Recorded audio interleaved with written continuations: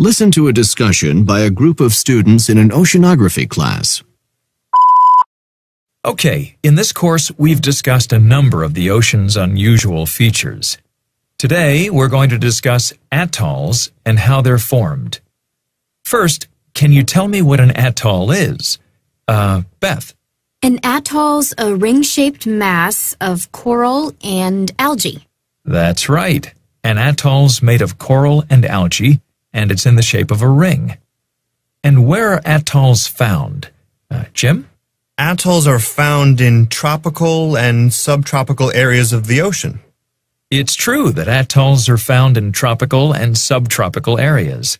Why is that, do you think? It's where the water temperature is fairly warm. The coral and reef building algae grow best in fairly warm water. Okay. Now let's look at how atolls are formed. We'll look at a series of three diagrams and discuss what's happening in each. This diagram shows the first step in the process. What does the diagram show? Linda? Well, it, uh, looks like a volcano. It certainly does. But perhaps there's something more you could add? Uh, it's a volcanic island. A newer volcanic island that has formed recently. And what's growing around the volcanic island? Uh, a coral reef's growing around this new volcanic island. Yes, good. Okay, now let's look at the second diagram. Beth, can you describe what's happening in this diagram? The second diagram shows that the volcanic island has started to erode. It's wearing down.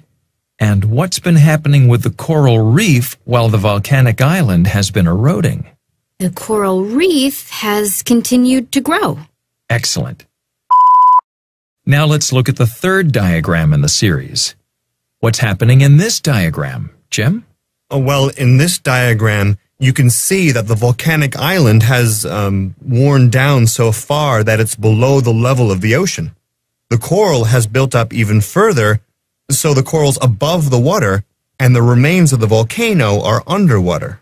Yes, and it's at this stage when the ring of corals called an atoll.